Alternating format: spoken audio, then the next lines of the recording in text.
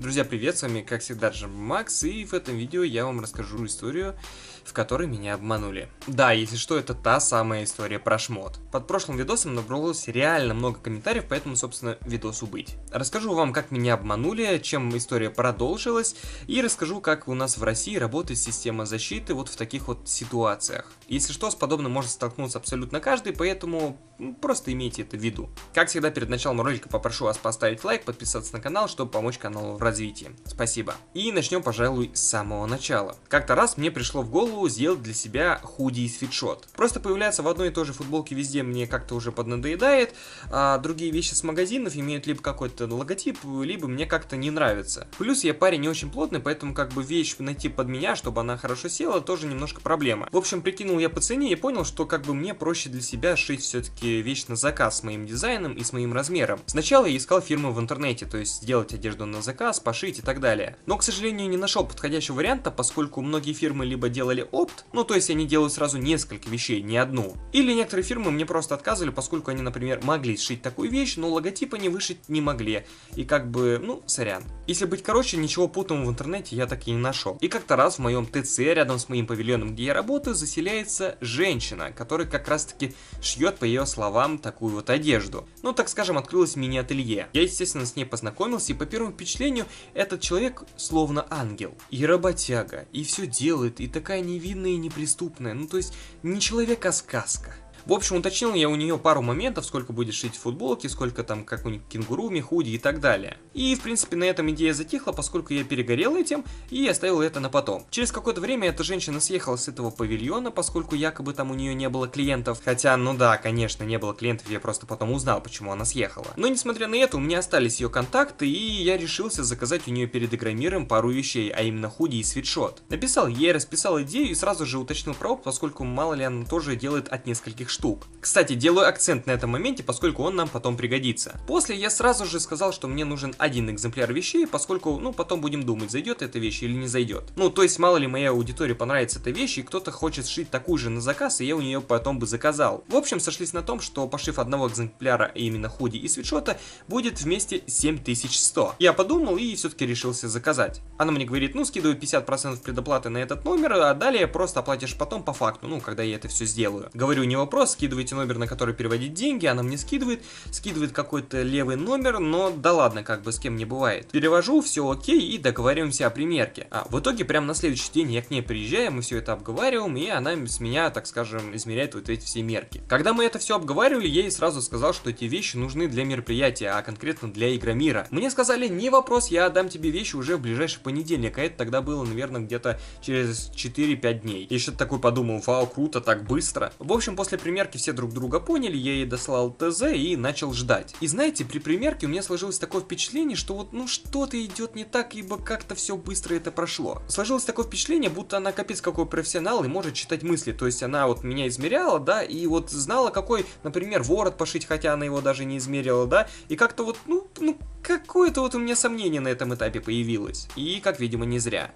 Я просто не знал, как проходят мерки данных вещей, поэтому полностью ей доверился. В итоге я начал писать ей в те дни, в которые она обещала отдать мне вещь. Но меня ждала сказочная хинея, поскольку я очень добрый и понимающий. День, два, три, и все шло к тому, что вещь еще не готова, там осталось пару штришков, и потом мне ее отдадут. В итоге я каждый день начал ей звонить, донимать, то есть, ну, писать сообщения, поскольку Игромир уже на носу. Но мои звонки скидывали, и я отвечали голосовухами в WhatsApp. Типа, блин, сорян, у меня не получилось, и опять перенос даты. Потом была какая-то история про девушку, девочку, которая что-то там заболела и что-то там не сделала. А, Максим, здравствуйте.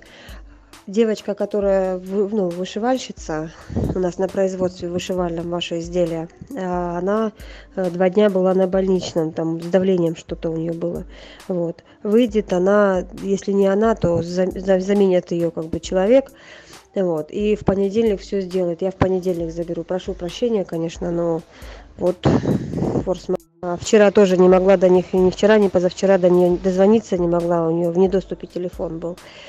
Ну вот, в понедельник я заберу. Короче, данный человек извивался как только можно. Но опять же, я добрый, понимающий, и да, да, да, конечно, такой, ну, просто дебил. Потом это все переросло в то, что вещь уже готова, но ее нужно всего лишь отдать. Икромир, к сожалению, уже тогда прошел, я остался без вещей, но я как бы за них заплатил, и, в принципе, они мне потом бы пригодились бы. И, собственно, поэтому я продолжал ее донимать, типа, когда, когда, когда. В итоге мне говорят, что все нормально, нужно лишь встретиться, я передам тебе вещи и так далее. И в тот момент я не мог приехать, поскольку у меня были дела, но потом у меня появилась возможность, но у нее, к сожалению, она каким-то образом пропала. Хотя, в принципе, изначально была, ну как-то странно. В итоге опять перенос, перенос, перенос, и я понимаю, что мне просто врут. В итоге я изложил свое негодование, что так как бы нельзя, я заплатил, скажите дату, и я подъеду, ведь, ну, так не делается. Кстати, хочу обратить внимание, что я с ней общался чисто по-человечески, то есть без какой-либо агрессии. В итоге на все это ответа не было, я психанул и на следующий день просто поехал к ней на точку. Поскольку эта клевета мне уже реально надоела, и как раз я на следующий день должен был проезжать около нее. Несмотря на то, что эта дама должна быть в налоговой,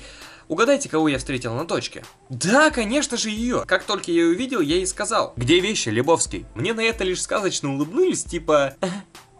И начали опять выдумывать какую-то историю, что там девочка что-то накосячила, и вообще у этой вещи готовы лишь там э, боковые стороны. Ну, лишь, грубо говоря, два шва. Короче, если по-русски она ни хера ничего, скорее всего, не начинала даже делать. Я это прекрасно понял и говорю, отдавайте мои деньги. На это мне сразу же ответили. Да-да-да, конечно, если тебя там что-то не устраивает, да, я тогда тебе отдам деньги, да, если ты не хочешь ждать. Я говорю, ну, а давайте. И она такая, ой, блин, я сейчас отдать не могу, у меня денег вообще нет, я перевести ни с чего не могу. И я говорю, а когда переведете? Она ответила, типа, сегодня переведу, типа, до конца дня. Я говорю, когда именно? Ну, до конца дня переведу. Ну, окей, я стал ждать. Я ушел, и, в принципе, это была, наверное, моя ошибка. Как вы все прекрасно догадались, мне ничего не перевели. Если что, этот человек, который так поступил, это ИПшник. То есть, это лицо, которое зарегистрировано в налоговой и которое должно нести, как бы, ответственность за то, что он он делает. То есть в этом плане, если обращаться в суд, хотя бы есть на это основание, поскольку это не Вася Пупкин с пятого подъезда, который просто за бутылку тебе согласился что-то сделать. И тут я подумал, что ездить каждый раз к ней смысла нету, потому что она мне ничего не вернет, и как бы рычагов давления у меня нету. И дай-ка я пойду по пути закона. Знаете, мне не столько было жалко эти 4000, как ее чувство безнаказанности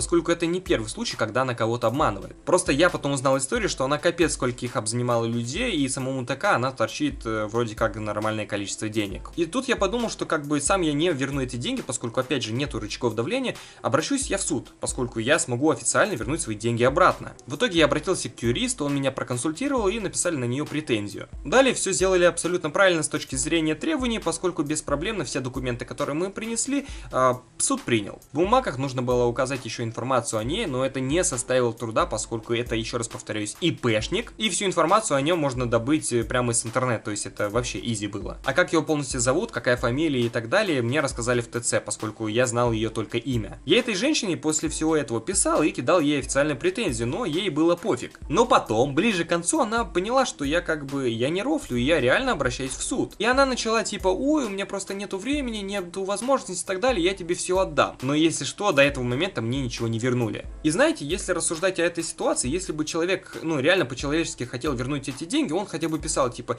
извини, я там верну тебе за две недели, не получилось э, прислать тебе сегодня, реально подожди, неловко вышло и так далее. Нет, этот человек мошенник, он не хотел возвращать эти деньги и просто не хотел, грубо говоря, иметь а, делов в суде. И, и глядя на эту ситуацию, опять же, можно сказать, блин, как жаль, у человека нету денег, чтобы отдать, да, но этот человек, это мошенник, это, это, это мошенник. В общем, назначили мне день слушания, и она на него не пришла. И знаете, с самого начала этого процесса э, мне показалось, что творится какая-то херня. Слушание назначили в 10 часов, но мы ее ждали, поскольку она сказала, что она опаздывает. В итоге она вообще не приехала, мы ее просто так прождали 30 минут. Зашли, пришел судья, это была женщина средних лет, наверное, в районе 30. И вроде как все началось в обычном процессе. Сразу скажу, что это был мой первый опыт, я не знал, как себя вести в суде и так далее, но мне юрист сказал сразу, что типа, ну, не ругайся, не кипишу и так далее, как бы совсем соглашайся, главное не ругайся. В итоге меня спрашивали, как все это было, я, естественно, рассказал. И знаете, в душе и вообще логически я понимал, что все пройдет нормально и мне вернут мои деньги. Ибо я все-таки пострадал, она деньги не вернула, она просрочила все, что только можно, а самое главное, правда-то на моей стороне и у меня есть все доказательства. В итоге она начала все читать, сразу же ошиблась в сумме, посчитав, что мы договаривались на 71 тысячу. Но я сразу же подправил и сказал, что это 7100. Она такая, ну окей. В итоге она начала читать переписку и начала меня спрашивать. И тут для меня начинается просто какая-то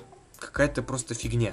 Она начинает меня спрашивать по таким вопросам, которые вообще никак не относятся к делу и никаким образом не влияют на то, обманули меня или нет. Был такой вопрос, типа, а что значит зайдет вещь или не зайдет? Окей, ответил ей, типа, у меня есть аудитория, да, как бы если ей понравится данная вещь, которая у меня, как бы есть возможность того, что я у нее сделаю еще раз какой-нибудь заказ и вообще сделаю такие вещи там для розыгрыша или для продажи. Она такая, типа, окей, окей, окей. В итоге она потом меня спросила еще раз два-три раза это. Видимо, она вообще не поняла, что я ей сказал, и я ей разжевал как мог. И после она спросила меня такую вещь, э, от которой я даже немножко потерялся. Говорит, а докажи, что когда ты с ней переписывался, это вообще была она, то есть это та, на которую ты подал в суд. Просто когда я этой женщине кидал претензию, она ответила типа, я не я, задница не моя, типа, а кто это вообще такая, кому ты перевел деньги, хотя в принципе это она скинула мне номер. И, и как бы судья сделал на этом акцент, а типа, а реально докажи, что это вот она. Я говорю, ну типа, в смысле докажи, позвоните на этот номер и как бы возьмет она. Мне отвечают типа, ой, а докажи, что именно в момент переписки ты общался с ней, потому что, а вдруг это была не она? Чего, блядь? То есть, грубо говоря, я ей написал, она ответила, я потом э, пошел к ней на примерку, и это была не она? Это что за бред? Я говорю, а как вам и докажу? И мне ответили, типа, ну не знаю, предоставь какие-то доказательства в следующий раз. Потом меня спросили, типа, а откуда ты вообще информацию о ней нашел? Я говорю, в интернете, в базе, как бы она работала в том ТЦ, где и я, и в принципе там они еще рассказали инфу. И мне на это типа, ну ладно, окей, хорошо, я поняла. В итоге она, по-моему, еще раз спросила про опт, зачем я это спрашивал, и потом вот просто началась какая-то дичь. Я еще раз все объяснил, и она меня спрашивает, типа, а не против, если это дело, ну, переедет, грубо говоря, в другой суд.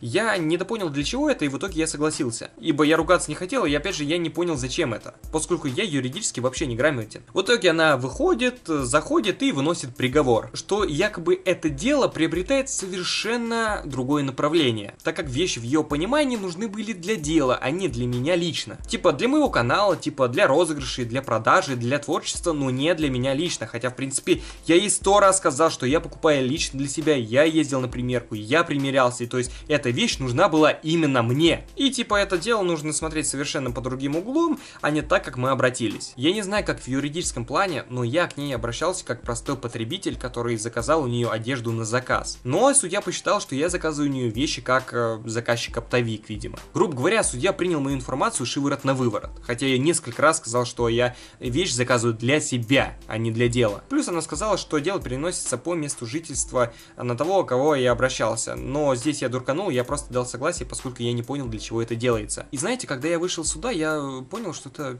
пиздец, и я реально был в шоке. И самое шокирующее для меня было то, что в суде не было ни одного вопроса. Ни одного! Вопроса на тему того, когда она попросила скинуть деньги, когда она просрочила, когда она обещала шить, она вернула ли тебе деньги, и типа она шила ли одежду и так далее. Ни одного вопроса и даже подобного вопроса не прозвучало вообще. То есть какого-то вопроса по делу или какого-то вопроса как у пострадавшего, ну, в мою защиту, не было вообще. Знаете, после этого у меня создалось такое ощущение, ну, после их вопросов, будто я виноват еще. Типа, э, я спрашивал про опт, типа, зайдет, не зайдет вещь, ну, типа, что за херня? Я, конечно, сразу же обратился обратился к юристу, говорю, ну так и так, что делать? И он говорит, что судья просто не захотел работать, поэтому он, грубо говоря, кинул твое дело в другой суд. Ну, грубо говоря, воспользовался твоей юридической безграмотностью. Тем более, как бы они не хотели работать, поскольку это был ноябрь, и, ну, сами понимаете, праздники и все дела. Мы с ним накатали жалобу и в итоге отправили, но вообще дошла ли эта жалоба до места назначения... Без понятия. И исходя из всего этого, я понял, что обратившись в суд, потратив на это время, деньги, я остался с хером в кулаке. И знаете, дело в том, что данная ситуация может столкнуться абсолютно с каждым. Ну, просто представьте, вы идете в магазин или у кого-то делаете заказ, у вас берут деньги, но вам не дают товар. И что делать? Ведь в морду, чуваки, ну, вызовут полицию, и, грубо говоря, у вас проблем будет еще больше. Звонить в полицию, ну, еще докажи, что он что-то у тебя взял и тому подобное. И, то есть, по сути, с данной ситуации я понял, что в таких вот ситуациях проще быть мошенником, поскольку докажи, обратись в суд, э, потеряй много времени, пока этот чел, да, грубо говоря, живет на мои деньги. И еще, знаете, забавный факт, это, грубо говоря, никто не будет разбираться, пока вас никто не покалечит. Есть миллионы историй, когда, грубо говоря, люди обращались в правоохранительные органы, просили помощи о том, что им угрожают и тому подобное, но к ним не ездили и всем было пофиг. И приезжали лишь тогда, когда реально кого-то прибивали. В моем же случае просто всем было пофиг, поскольку сумма небольшая, ну, всего лишь 4000, хотя это новиночка для Xbox. Хотя помимо 4000 рублей, которые я отдал, я еще заплатил госпошлину, и, грубо говоря, отдал юристу. И при всем при этом судья не проявил желания даже задать какого-то вопроса в мою защиту. Но как по мне, это бред. И в случае, если вы переводите кому-то деньги, да, и вас обманывают, то этому человеку, то есть мошеннику, ничего не будет, им не будут разбираться вообще, всем пофиг. И опять же повторюсь, мне не столь жалко этих денег, как ее чувство безнаказанности и нейтрального отношения а, тех людей, которые, в принципе, тебя должны были защитить. Я был в диком шоке после этой ситуации, потому что это был мой первый опыт, и он вот такой. Я испытал на личном опыте, что в нашей стране наши правила, они не работают, и выгоднее быть мошенником, нежели, вот, грубо говоря, потерпевшим. Просто смысл в том, что до вас никому не будет дела. Поэтому, ребят, кому-либо доверять и кому-то переводить свои деньги иногда не стоит. Вот такая вот история, друзья, извлеките из нее опыт, если вдруг с вами приключится подобная история, никогда не уходите, требуйте, кричите, орите, скандальте, но делайте так, чтобы вам вернули ваши деньги и чтобы вам оказали услугу. И самое главное, ни в коем случае, ни в коем случае не будьте добрыми и понимающими вот в таких вот ситуациях. Просто всем на вас будет пофиг. На этом, в принципе, все. Вот такая вот история про шмот. Э, в итоге у меня минус 4К и плохой опыт в суде. Но в любом случае это опыт жизненный, и теперь я понимаю, как действовать в таких ситуациях, что нужно делать, что не нужно и так далее. Напишите в комментариях, если у вас были какие-то истории такие вот жизненные, если вас тоже когда-то обманывали. Ну и если понравилась история, с вас лайк и подписка на канал. Большое спасибо за просмотр и до новых встреч. thank you